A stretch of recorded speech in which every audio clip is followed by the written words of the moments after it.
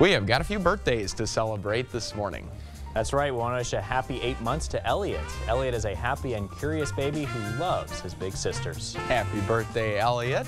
We want to wish a happy 18th birthday to Maddie this morning. Maddie is looking forward to competing in the Miss Remarkable pageant in November. And we're welcoming Maddie back to News 8 now this morning. This is her second time on the show for Look Who's 8 as she was on when she was 8 years old. So welcome back, Maddie, and happy birthday. Good to have you back there, Maddie. Happy birthday. Enjoy your day, too. And if you know a special someone that's uh, turning 8 months, uh, 8 years, 18, 80 years old, or even 80, 88 years old soon, uh, we'd love to feature them. Yeah, make sure you upload their photo to our website at news8000.com. Just look for the Submit Pictures button right under the Home tab on the website.